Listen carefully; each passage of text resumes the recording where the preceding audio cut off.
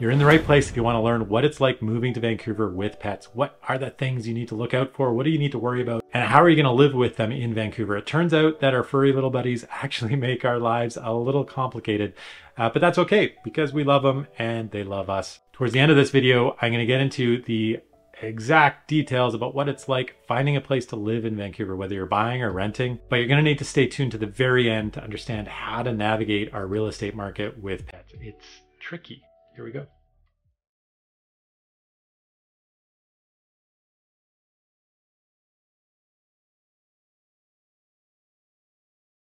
All right, so first and foremost, what you're going to want to do is check the municipal bylaws for the city that you're moving to. Now, of course, this is about Vancouver, so obviously you want to double check that if you're moving to the city of Vancouver. But if you happen to be moving to one of the dozens of municipalities that surround Vancouver, their suburbs, whether it's the village of Anmore or Coquitlam or Port Moody, they may all have slightly different bylaws in terms of pets. And you want to understand what the rules are before you move. And so there may be a pet that's allowed in Anmore that might not be allowed in Coquitlam as an example.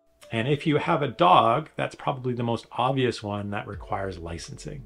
And you don't want to run afoul of the local municipal bylaw enforcement officers and rack up a whole bunch of bylaw fines. They do enforce the bylaw for dog licenses. I know in the city of Vancouver pretty vigilantly. So you'll see them actively enforcing that bylaw at uh, city parks, at the at the beach, as an example, and at the off-leash dog parks. So be sure to get a dog license and double check the bylaws in the city that you're moving to. Now, the other thing to understand is that there's off-leash areas and there's leashed areas. The general consensus in all of the municipalities, if you have a pet outside, it needs to be on a leash, it needs to be controlled. And, you know, most often that's going to be a dog, but, you know, I have seen the odd cat, which I don't know why that's weird, but it feels kind of weird to take a cat on a on a walk. Apparently, some of them like it. But uh, as in terms of dogs, most of the urban areas are going to require that you have them on leash. And the city of Vancouver, though, does have a really phenomenal network of off-leash dog parks. There's 37 of them in the city of Vancouver. So they can be the entire park. They can be an area in a park that's a little more common downtown where they have fenced off zones for the dogs to play in.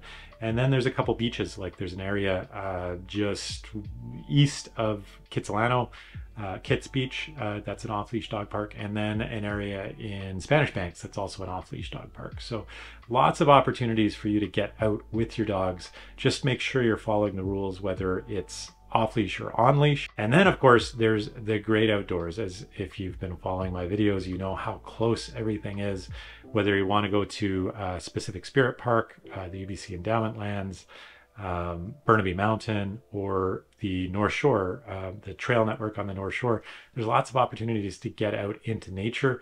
But the expectation is generally that your dog is going to be on a leash. There's plenty of people who let them go off leash, of course, but there's always a little uh, a little battle between different community members about whether the dogs should be on leash or not on leash. But the general expectation is unless it's an off-leash area designated that you should have uh, your dog on leash. Oh, and also that you're picking up after your dog. That's the other expectation. So unlike some areas, I think uh, Paris, as an example, is sort of known as a city where dog remnants are left on the street.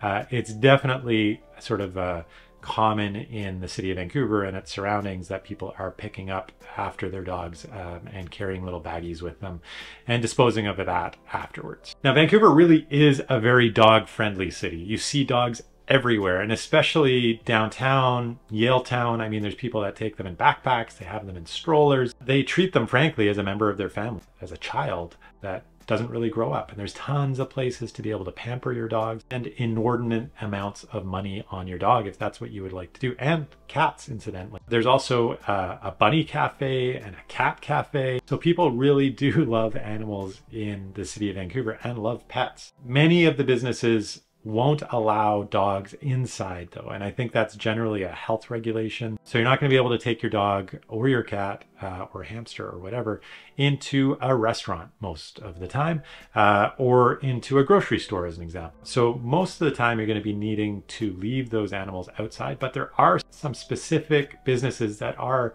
especially dog friendly and it's becoming far more common. I personally I haven't had a dog. I think it's been five years now since my last dog died. Back then, there was nowhere you could go.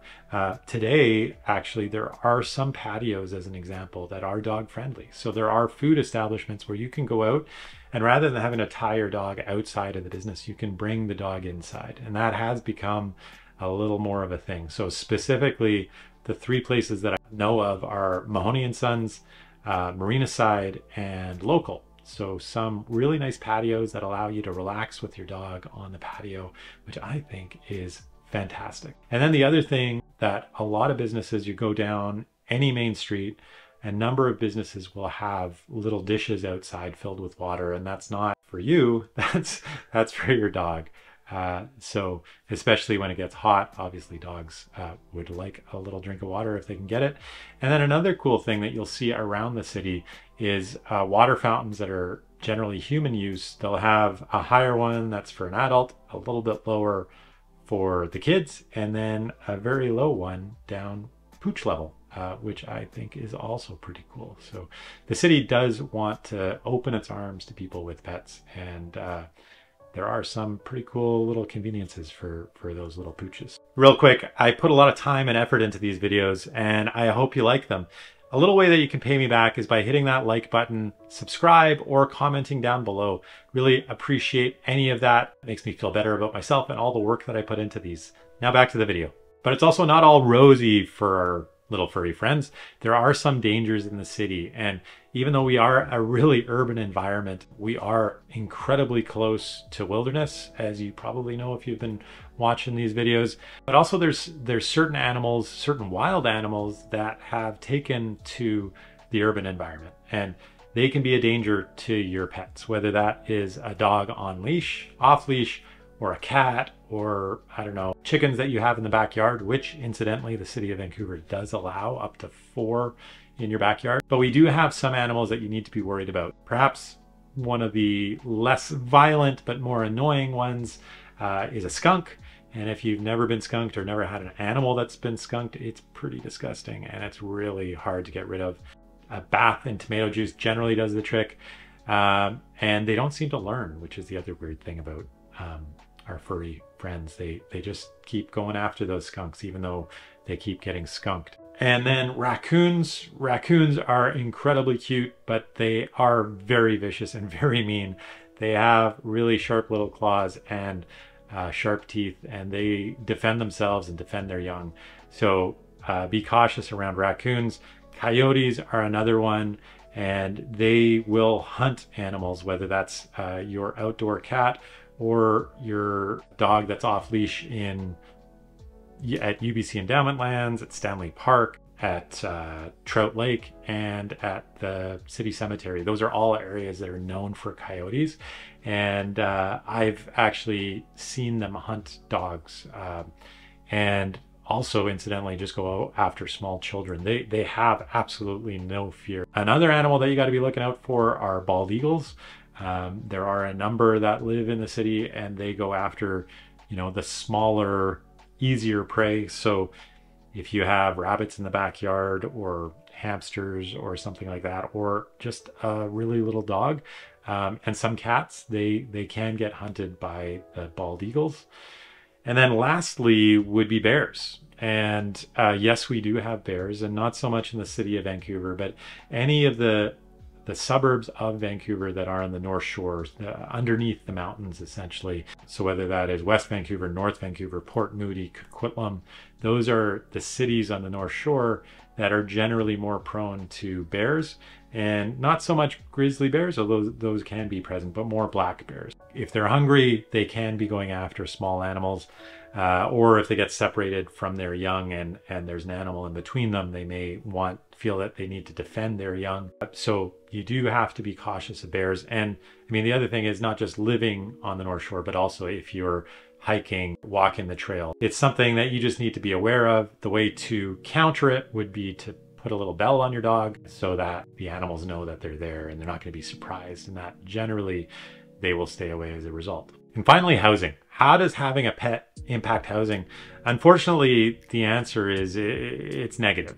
Um, it makes it a lot harder to secure housing, whether you're renting or buying. And so let's cover rent first. The thing with having a pet for a landlord is that it increases the wear and tear on the property. And that is generally what they're going to be most concerned about. And so many landlords are reluctant to rent to tenants, even if they're not reluctant to, um, or even if they don't have a, a sort of a, a guideline against having pets. If they're renting at an attractive price point in such a tight rental market, they have such a huge number of potential renters that they can rent to that they don't need to rent to somebody with pets.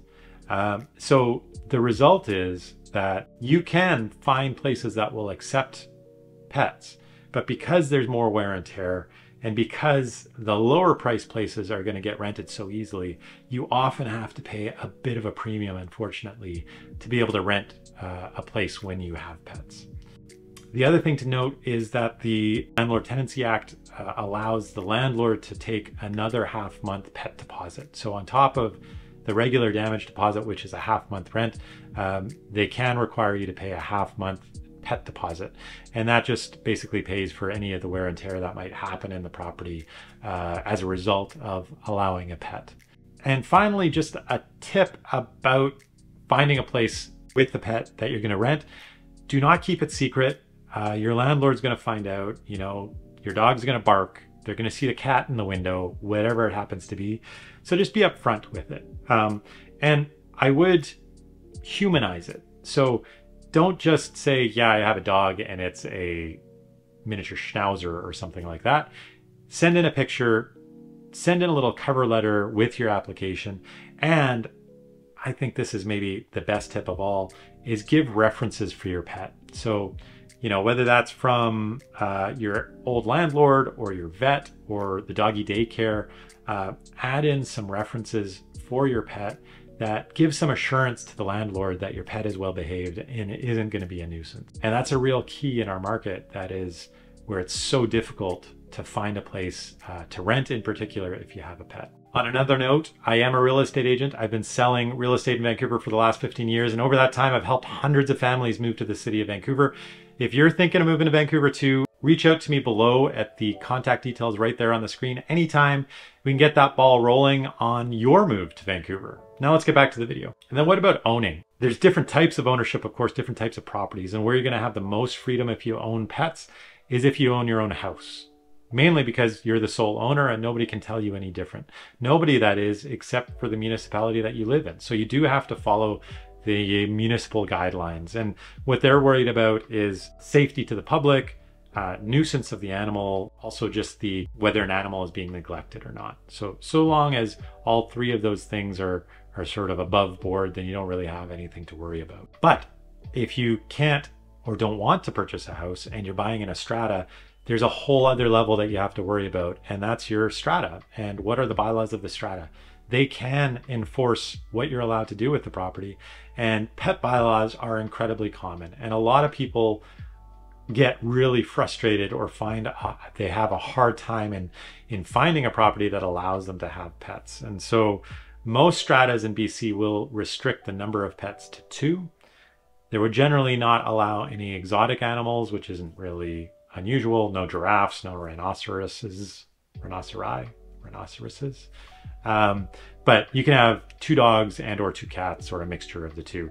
Um, now, many individual stratas, though, will change those bylaws, and especially older stratas will have restrictions when it comes to the number of cats. Uh, that could be one. So they may only allow one and not two, definitely not three. Um, and they most commonly restrict the size and the breed of dogs. So many stratas feel in the past felt like big dogs weren't something that they wanted, but they would allow little dogs. I'm not saying it's logical, I'm just saying that it's out there. And then the other thing is uh, the breed of dog. So uh, vicious breed is a very common restriction. Um, pit bulls would be a common dog that is not allowed in a lot of stratas. Um, but that's something to be aware of when you're looking for a place to purchase. And you want to play pay very close attention to what the strata bylaws are before you purchase if you have a pet.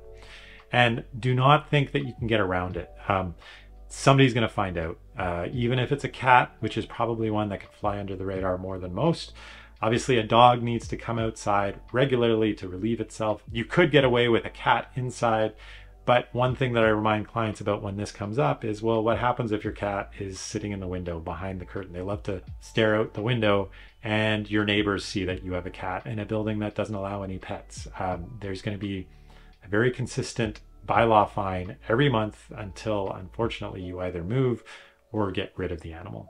So, um, unfortunately, pets do pose some problems when it comes to finding a home in Vancouver, whether it's buying or renting. Well, it turns out that moving to Vancouver with pets is actually kind of complicated and it does impact your ability to secure a home in Vancouver. I hope you found this video really useful. And if you did, uh, I'd really appreciate a thumbs up and a subscribe. I'm also a, a real estate agent in Vancouver. I've worked with hundreds of families just like yours moving to the city of Vancouver. I'd love to help you. Uh, reach out anytime. My contact information is right there on the screen. We can get that ball rolling, have a conversation, and take it from there. I do have tons of videos about moving to Vancouver. Be sure to check them out. There is one right there about buying a house in Vancouver. And if houses aren't for you, then there's a, another video about buying a condo in Vancouver. Be sure to check those out. And I'm going to be right back here next week. Uh, I put out a new video about moving and living in Vancouver every single week. I'll see you then.